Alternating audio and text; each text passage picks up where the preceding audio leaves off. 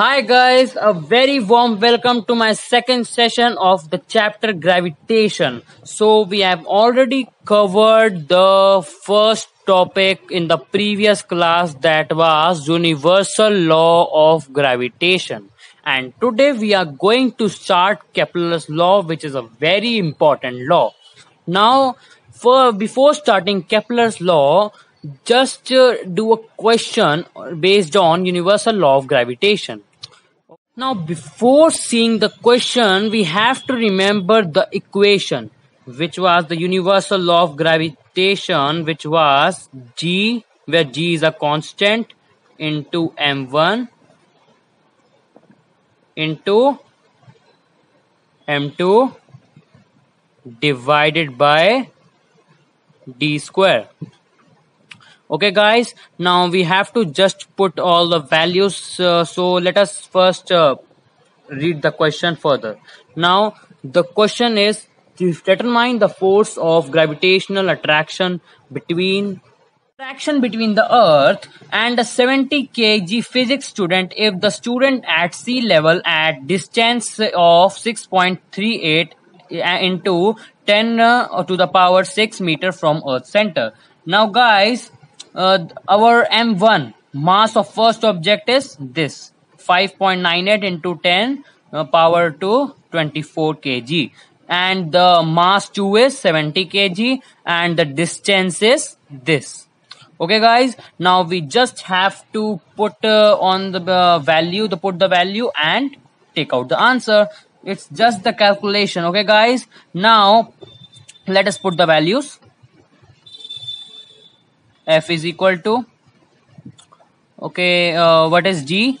Now g is a constant. I told you which is equal to 6.67 6.67 into 10 to the power minus 11 so this g's value is this. And we have to multiply it uh, with mass 1 which is uh, which is uh, this one 5.98 into 10 to the power uh, 24 and uh, this one 70 kg and divided with this uh, square 6.38 into 10 uh, 10 to the power 6 square and you will get your answer. So let us move to the kepler's law. You have to just do your calculation and nothing else. So kepler's law. Now guys in kepler's law first we have to study a little bit history. So are you ready for studying the history so let's go. Now, the first person came in Kepler's law was Claudius Ptolemy. Now, who he was? How is he related to Kepler's law? Now, the Kepler's law is basically uh, basically related to space. Now, what he said? He said that uh, the geocentric theory. Now, what is geocentric theory? Geo means Earth and centric means uh, center. So he has said that the earth is in the center and everything revolves around the earth and even sun he said sun also revolve around the earth now the second came Nicolaus Copernicus. Now he uh, discovered heliocentric theory. Now helio means sun, so he said that uh, sun is in the center. Okay. Now the next came Tycho Brahe. Now Tycho Brahe said that earth is at the center. Okay we, it is correct earth is in the center. And he said moon and sun revolve around the earth. That he said wrong but sun cannot revolve around earth okay? Now he said moon and sun revolve around the earth and all the remaining planets revolve around sun. Okay guys now let us uh, see this. Now then came galileo. Now galileo invented telescope uh, Galileo was the first person to invent telescope. He uh, uh, invented telescope, and then after his death, he passed on his data uh, because he uh, became older and he uh, thought that what will he, uh, what will he uh, do with his data. So he passed on his data in kepler's hand who solved this theory and this law is named only after him only. Okay guys now the Kepler's law is uh, is named after a person Kepler. so and his law came to be known as kepler's law of planetary motion.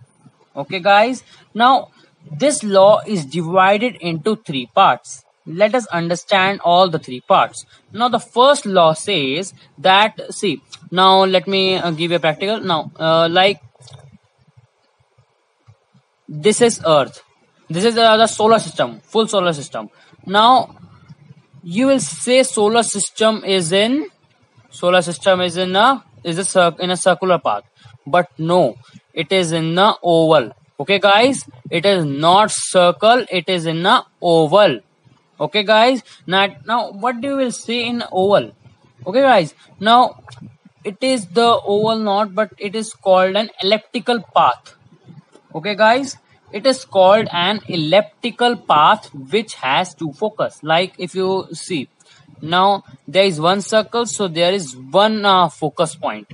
Now uh, if uh, it is an elliptical path means a little bit uh, oval so there would be two uh, focus points uh, and now these two points are called ellipse.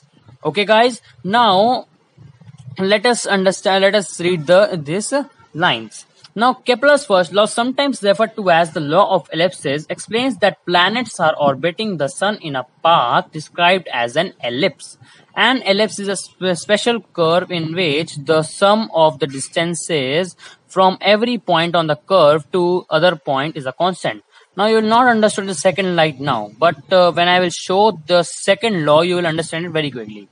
Now, what Kepler said, Kepler said that this path, this area, this area, this area, this area, this area. Now, uh, this line would be covered uh, and this line would be covered in the same time. Both will be covered in the same time. So why? Because uh, so because the earth become faster. The earth become faster when it is closer to the sun. So uh, he said that this uh, all these are equal okay guys now it is on the second law that a radius vector joining any planet to the sun sweeps out equal areas in equal length of time now guys let us understand the last and the final law Kepler's third law. now, what it said, guys, Kepler said that this, okay, uh, this distance, okay, the, uh, the time, the time Venus takes to cover this distance is called T1. or T2, yes, T2. And this distance is called T1. Any constant, okay? Now, this is a time time took, he took to cover this one okay this is t1 now he said that the time the time taken it to cover the this distance is proportional to the radius okay? This radius this is the radius okay? Now he said that the time taken is proportional to the radius. Now this uh, uh, just a second.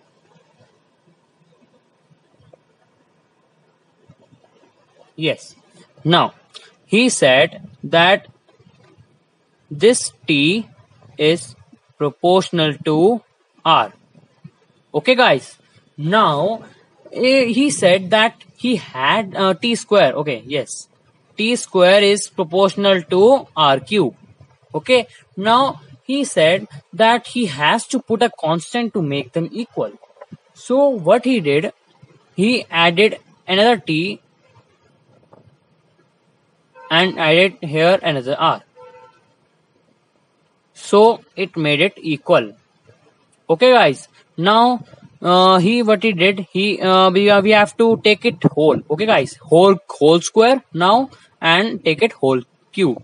Okay guys. Now this comes to the formula that t2 divided by t1 is equal whole square is equal to r2 divided by r1 whole cube.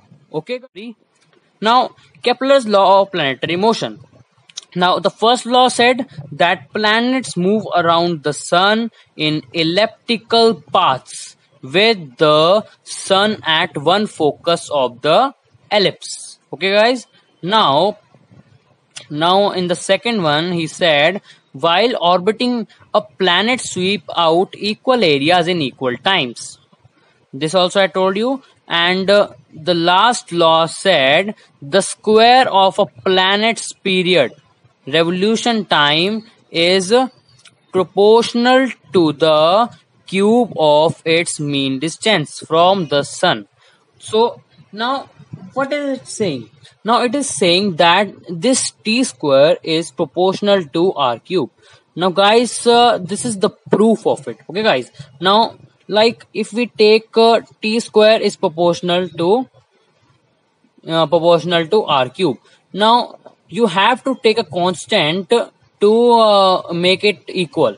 So now what you did you wrote uh, t1 below t2 and uh, uh, and t square it is t square and t1 and one r more before below the r. Now you squared it because it was t square. See guys it was t square so we have to square it. And it was cube so we have to cube this one also. Now we can say that t square uh, t divided by t uh, whole square is equal to r by r whole cube.